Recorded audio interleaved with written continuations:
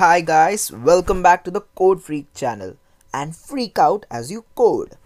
So guys, today we'll be learning something which is very very very very important in CSS and actually it can make your life very easy uh, if you can understand and grasp this uh, topic called css grid layout as such uh, very well okay and it is kind of complicated also so i would ask you to pay full attention uh, so that you can get all the things properly and you can gain the gain the best out of this video all right so let's understand what a grid is. So you know a grid uh, especially we are talking about 2d here so it will have a x-axis y-axis or uh, it can have some columns and rows. So let's consider columns and rows. So that's what make up a grid right? So we have a graph paper for example that's a grid example of a grid. So we can try to make a grid type of layout here and so let's read some sentences which I've uh, copied and pasted here.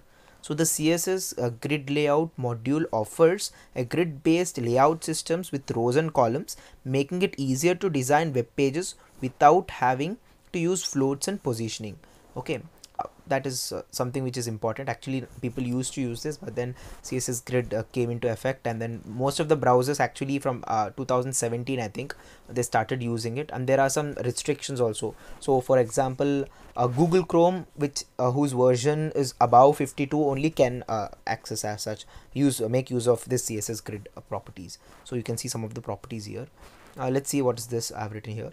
So CSS grid layout excels at dividing a page into major regions or defining the relationship in terms of size position and layer between the parts of a control built from HTML primitives. So first uh, I've uh, given you kind of a small brief introduction of what CSS grid is. Stay till the end of the video so that you can get a holistic idea of what CSS grid is and watch the next videos also uh, which are there related to CSS grid so now let's look into some properties which we have here and then we'll try to uh, make a new file and then we'll try to execute some of them. Okay. So let me make a new file here and then I'll save it. Let's call it grid.html html okay. Yeah so I have a file here. Let's get the boilerplate. So I've got the boilerplate. So I'll put uh, css grid tutorial tutorial 1 yeah. Here we will uh, start off. Maybe we'll have a div container as such.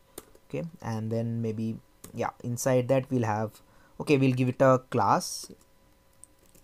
We'll give it a class called a class called outer. And then inside we'll have it uh, we'll give a div and we'll give this also a class called maybe what will we name the class uh, to be? So you can name it anything. So i'll just call it item so this is the grid container as such which, which we'll have and then we have many items inside it. So for now we can have many items like yeah just some alphabets. Uh, that should be good. So let me copy this and paste it a few times. So let us uh, try to uh, make a style tag here. So i'll make a style tag uh, css uh, style tag. So i'll i'll use the I'll select the outer element or the outer tag as such. So yeah so we have the outer. So now what we will do is we will uh, try to give it some design. So before we give it a design we'll use the property display and then we will uh, put grid there okay? So inline grid and grid we have these two options. So we will use grid and then maybe we'll uh, in the future we'll try to use inline grid also. Yeah so what we'll do here is um, we'll put in something called uh, we have seen this function here which is grid template columns. So we will try to use that. So let's do that. Grid template. So we have to create a template. So I'll do that. Grid template columns. And then what I'll do is there is uh, so as we have learned about percentages there is one more thing called FR which is fractions. 1 FR maybe and then uh, maybe one more 1 FR I'll do that. Yeah. Border uh, let me put in 2px solid. Black. Yeah perfect. So let me just go to the page and refresh it. Yeah so you can just see one line here which looks pathetic. If I put in some elements here let's see what happens okay? W E R t y. And then u. And then i. Yeah i'll save it. Now let's look at the grid template here. Okay. Yeah this is what i wanted you guys to see. So you can see that it's kind of divided into two halves. So if you actually see what's happening here is that um, you have uh, you have it divided into two halves.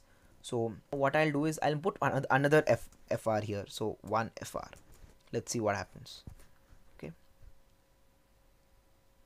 so yeah see you get one two three four five six. So U W E R T Y uh, U I. So if I put one more so if I put here uh, 2 FR say or here 2 FR so you can see that this is two times the grid and then here you have this much. So I'll select item element and then I'll put in some border and so I'll put in some border uh, and then I'll put in 1 px uh, solid and say I'll put black here and then I'll put here none. So yeah let me save it and let's run this. Yeah so you can see some kind of a grid that you have actually got here.